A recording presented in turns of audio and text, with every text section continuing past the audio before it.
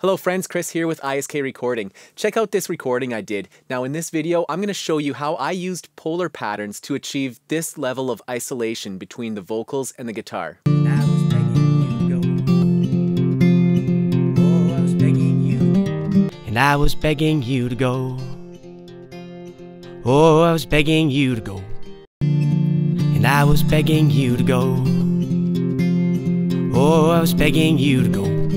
Understanding microphone polar patterns is really important in optimizing the sound that you're going to get. For instance, in a live environment, you can use polar patterns to help prevent feedback, or in studio applications, you can use the polar patterns to get excellent isolation between parts, such as the example I just showed between vocals and guitar, or even creatively use them to pick up more than one part at the same time to capture more of the room, less of the room, or just use them as another tool in your toolbox to help sculpt the sound that you're going for.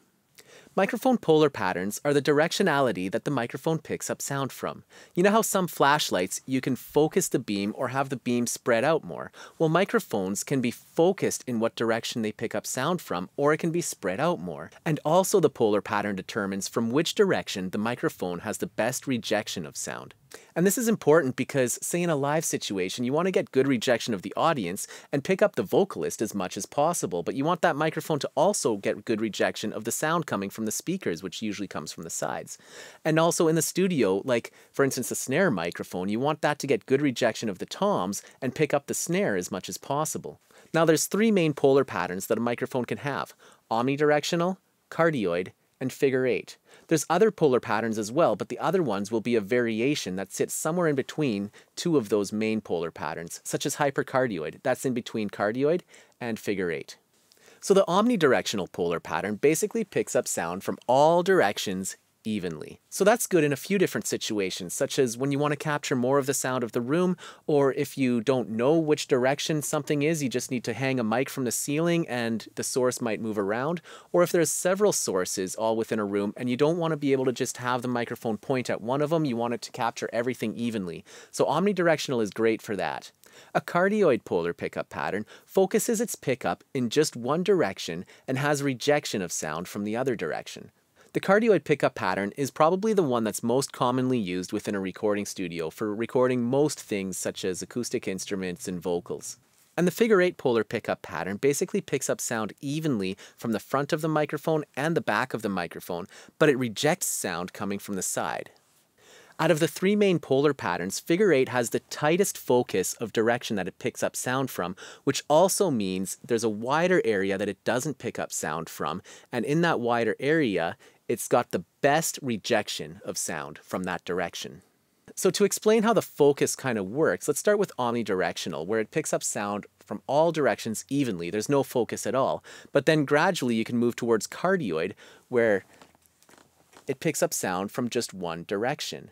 And then from cardioid, you can focus it even more and pick up sound from a very specific direction, but as it becomes more focused, it picks up sound from behind it as well, until it gets all the way to figure eight, where it picks up sound evenly in the front and back and has very good rejection of the sound from the sides. Now, as the polar pattern becomes more focused into one direction, there's another phenomenon that happens, and that's called proximity effect. The proximity effect is where a microphone will pick up more bass the closer the source is to the microphone. And this goes hand in hand with the polar pattern. The tighter the area of focus is, the greater the proximity effect will be. Right here I have an ISK 2B Beauty. This is a multi-pattern condenser microphone. By multi-pattern, what that means is I can change the polar pickup pattern right here on this dial. So let's take a listen to some of the different polar patterns and how they sound. We'll start with omnidirectional. Check, check, one, two, three. Check one, two, three. Check, check, one, two, three. Check one, two, three. Check, check, one, two, three. Check one, two, three. Check, check, one, two, three. See, as you can see, as I spin the microphone, there's not too much of a difference in the sound. And if I go closer or farther, there's not much of a difference in the bass response. I'll be adjusting the volume so that the volume is relatively even and you can focus on the change in tone rather than the change in volume. Check one, two, three. Check one, two, three. Check one, two, three. Check one, two, three. Check one, two, three. Check one. Check one, two, three. Check one, two, three. Check one, two, three. Check one, two, three. Now I'm going to go to the cardioid polar pattern. Check one, two, three. This is the front of the microphone. Check one, two, three. Check one, two, three. This is the back of the microphone. Check one, two, three. Check one, two, three. This is 90 degrees to the side of the microphone. Check one, two, three. Check one, two, three, check one, two, three, check one, two, three, check one, two, three, check one, two, three, check one, two, three, check one, two, three, check one, two, three. And I'm going to go closer and farther. Again, I'm going to adjust the volume so that you can focus on the tone rather than the volume change. Check one, two, three, check one, two, three, check one, two, three, check one, two, three, check one, two, three. So now I'm going to go to the hypercardioid pattern, which is in between cardioid and figure eight. So you still get sound pickup from both directions, the front and the back, except it picks up sound more from the front than the back, and it has the best rejection at 270 degrees. Check one, two, check one, two. This is hypercardioid. Check one, two from the front. Check one, two. This is from the side. Check one, two. Check one, two. This is at 270 degrees.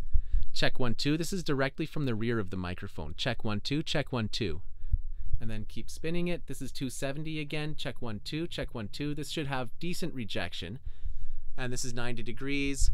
And from the front, check one, two. And now to show you the proximity effect, check one, two, check one, two, check one, two, check one, two, check one, two, check one, two, check one, two, check one, two. And now I'll go to the figure eight polar pattern.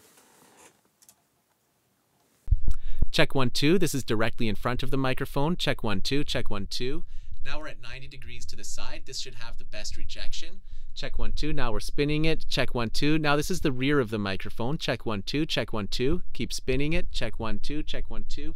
Now we're at 90 degrees to the side. This should offer the best rejection. Check one, two, check one, two. I'm going to keep spinning it, keep spinning it. Check one, two. Now this is the front of the microphone again.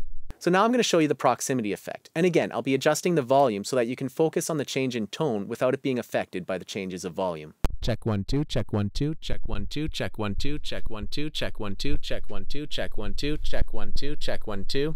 Now some microphones have a fixed polar pickup pattern, such as the ISK vibrato, which is fixed cardioid, and some microphones have several polar pickup patterns that they're capable of, and you can select which one you want to choose such as the ISK2B Beauty, where you use this selector switch to choose which one you want. And here's the ISK Little Gem, and it has interchangeable capsules for different polar patterns. And the capsules are really easy to change. You just twist them off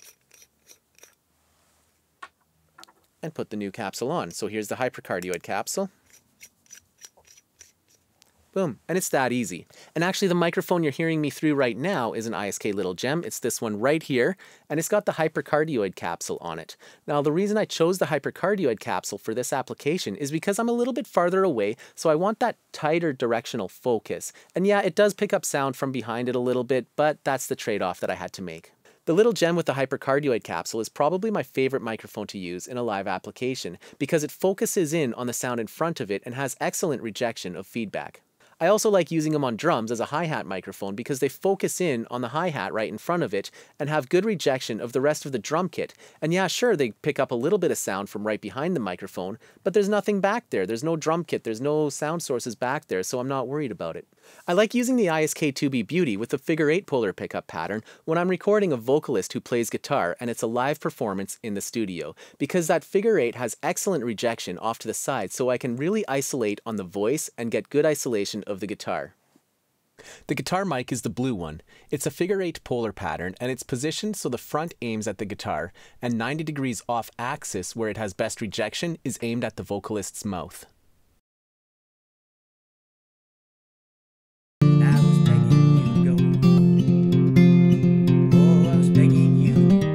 The vocal mic is the red one. It's a figure eight polar pattern and positioned so the front aims at the vocalist's mouth, and 90 degrees off axis where it has the best rejection is aimed towards the guitar.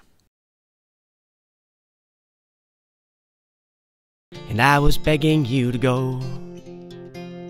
Oh, I was begging you to go. And I was begging you to go. Oh, I was begging you to go.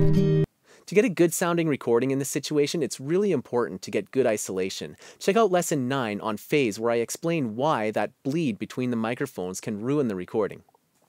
You can go to iskrecording.com and download the raw tracks to this song so that you can hear it more closely and also do your own mix practice. You might want to consider subscribing to this channel because I'm going to be doing a ton more videos showing you how to get awesome sound quality at the lowest possible price. So I'll see you in the next video.